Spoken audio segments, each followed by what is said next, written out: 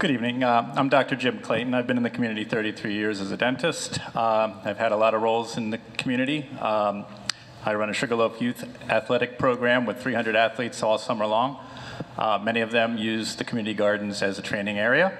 Um, I was the high school track and cross country coach for 10 or 11 years, and the high school uses that area for their competitive cross country races. So not only do we use that land for the grants race, which is probably the best thing that I've seen in my 40 years of running in the United States, but we use it as a high school competitive area.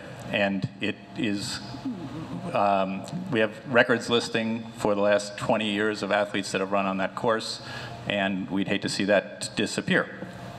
Um, I use this land for everything. I have a dog, I run with my dog, I walk with my dogs. They're getting older now.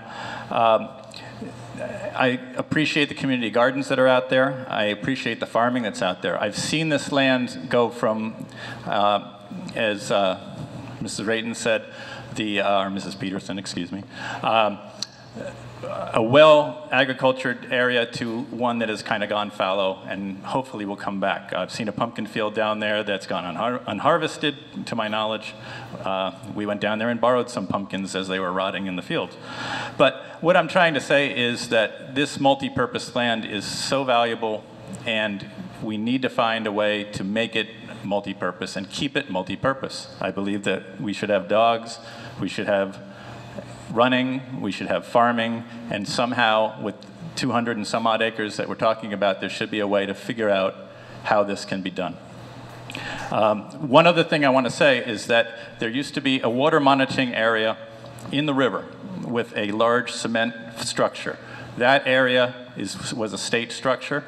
There is erosion behind that state structure. It is cavitating an entire hill near the cross-country courses. As the track coach, I was worried about this thing falling into the river.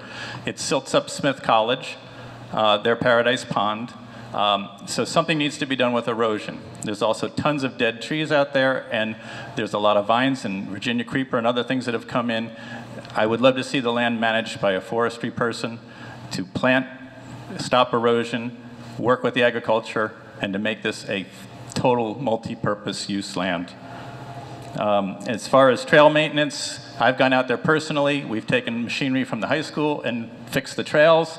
Smith College routinely does that, and they use this also as a racing area for about four cross-country meets every season. Uh, it's invaluable. I lived in New Jersey. There's no dog walking park within 25 miles of where my father lives in New Jersey. Uh, I love this area. My children come back from college, and they take the dog for a run or go out there. It's just probably one of the gems of Northampton and of the state of Massachusetts. Thank you.